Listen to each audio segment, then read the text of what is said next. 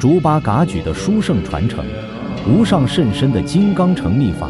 将由尊贵的朱拉罗本仁波切不远千里从不丹带至新加坡。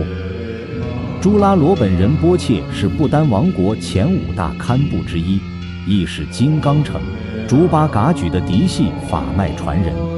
噶举法脉始创于帝洛巴祖师，发展成今天的四大八小派传承，在世界各地广泛传播。噶举传承以不重著述，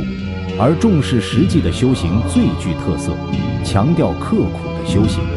朱拉罗本人波切注重实修实证，深入研究大手印和那洛六法等修法，通过冥想禅修获得洞见。他曾担任不丹东部地区的佛教学院校长，引导启迪了众多信徒，并于2020年获得莲花阿舍利尊贵称号。在这个为期五天的传法中，尊贵的仁波切将传授深刻的秘传教义和灌顶，让大众连通无上清净的法脉传承。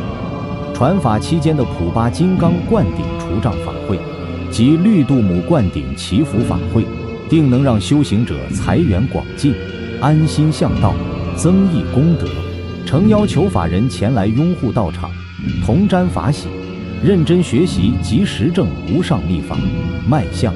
一生成就。